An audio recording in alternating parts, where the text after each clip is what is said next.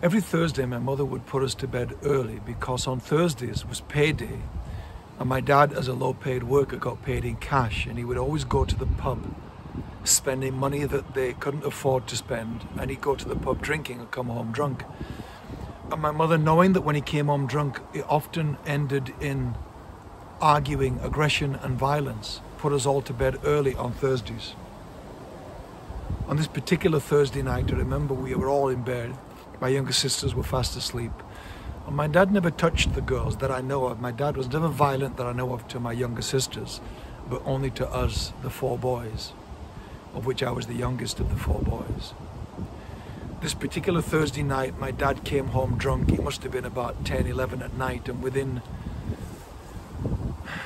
within minutes the violence began and we always knew the violence was about to begin because the dog would sense it the dog would begin to yelp and cry and bark and then the violence would kick in the dog was like a canary in the coal mine sensing this violence and the dog would be so terrified that it would just react and then it would go for it and start trying to bite my father and then he kicked the dog and that's what happened this particular Thursday night. And we four boys were upstairs terrified. Hearing this commotion, my mum was screaming. And we could hear the violence and stuff flying around and the shouting and the swearing. And my brothers decided to go down and help my mother because it sounded on this night like he was killing her. And then it just went quiet. And I didn't know what had happened but my older brother Terry came upstairs and told me that he punched my dad and knocked him out, and that they were leaving the house. I didn't know what that meant, but within seconds it seemed that my three brothers and mother left the house and left me upstairs in bed. And I was there in the house on my own, my sister's fast asleep, and they were safe because he never touched them, and I was just so terrified that when my dad woke up, he would come up and beat me up because that's what he normally did. He would take it out on the boys, and I was the only one left in the house. It would be about midnight after this time. My mum and three brothers had just gone. And I remember being in my bed terrified, shaking in fear.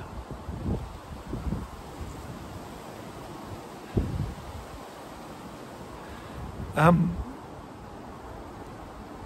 and uh, not knowing what to do. I crept around the bedroom. It seemed forever to not make any noise, to get dressed, to put clothes on. And I decided that I would escape from the house, but I couldn't go downstairs. So I climbed out of the bedroom window. This would be probably one in the morning. I climbed out the bedroom window and I gripped onto the drain pipe next to my window and and slid down the drain pipe. I remember scarring all my legs on the way down.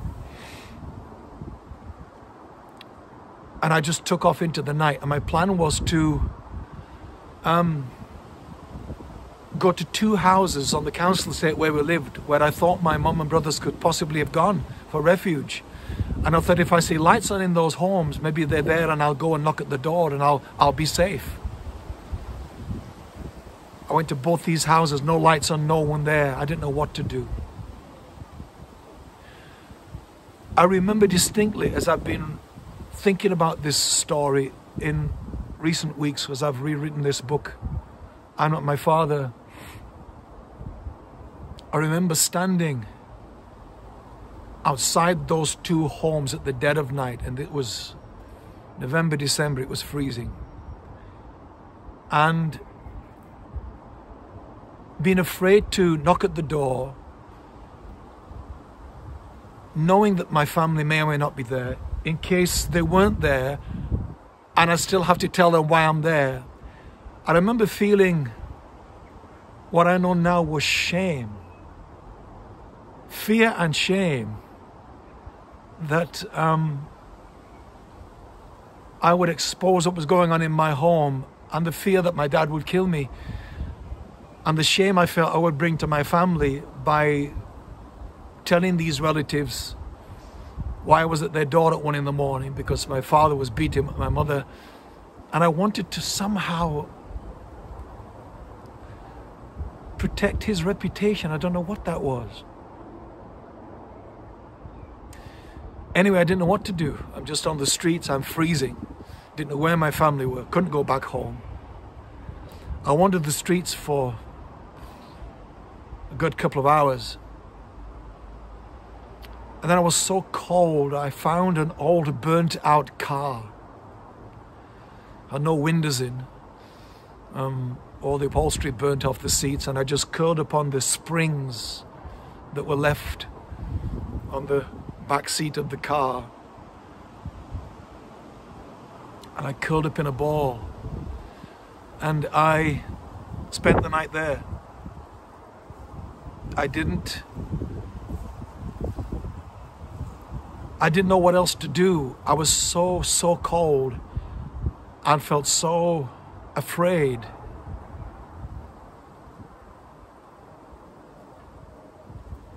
And the next morning, when daylight came and I heard activity outside, I kind of guessed it was school time. And I went straight to school from that burnt out car. Um, no one asked me anything, of course, because I just showed up. It wasn't school uniform in those days. I just showed up in my regular clothes, thinking I'd just go home at the end of the day. So I went straight to school from that burnt out car. I remember being um, so worried that someone would know something and somebody would make me talk about it. And I would have to expose my family. And I got through the day and I went home and my mum was there, my brothers were back, my dad was at work, and it kind of just all carried on. My mother couldn't believe that I had left the home. She'd been out of her mind all day, worrying about me, she said, not knowing what had happened is what I just told you now. And I tell you this because that story, and I have very few about my childhood, that story has helped me connect some of the dots between the trauma of that evening um, and the sense of um, abandonment I think I felt. I think the sense of abandonment I felt as an eight year old boy alone in that way. And I think it's explained to me why in my adult life I have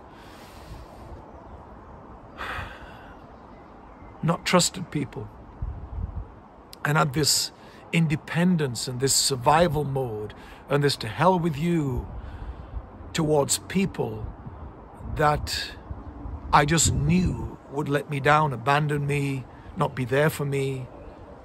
I never believed people when they said to me they had my back or they um, would stand up for me or they'd come through for me. I never believed them.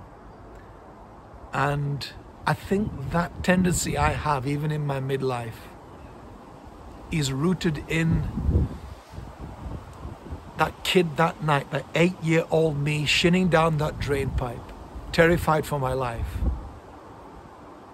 And it's it deeply cementing into me, I suppose, imprinting on my mind, my emotions that night that I am not safe, I am not seen, I'm not important, I don't matter, and you're on your own. And I think recovering that memory and sitting with it, I've never sat with it. I've never sat with it till this last few weeks and months as I've rewritten the book, has helped me begin to unpack some of my narratives through my life, some of my default modes through my life that I don't think have often served me well. I don't know um, what benefit this story is to you guys, apart from me saying to you, I think we all have things in our childhood, hopefully not as traumatic as mine, that if we're willing to go there and sit with it, I think have the potential to explain something to us about our lives, our relationships, how we've lived, our health, our mental health, and so on, that may be a key to our recovery and are moving on and flourishing in life better than we could if we didn't do the work that I'm talking to you about that I've been doing in recent months around this area. I hope that story was not not too traumatic for you all and somehow um, can be of assistance to you guys in your journey as you continue to say, I am not my father, and here's why.